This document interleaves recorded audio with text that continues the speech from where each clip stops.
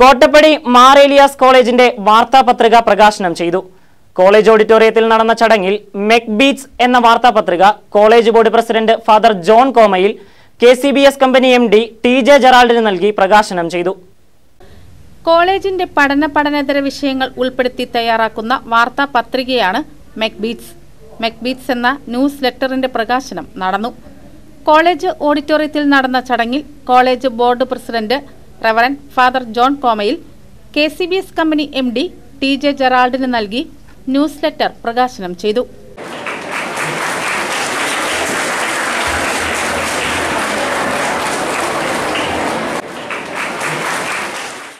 College principal doctor Smitha Harikumar manager advocate Biju P Isaac board മെമ്പർമാരും college union ചെയർമാനും ചടങ്ങിൽ പങ്കെടുത്തു. K C V news Kottappadi.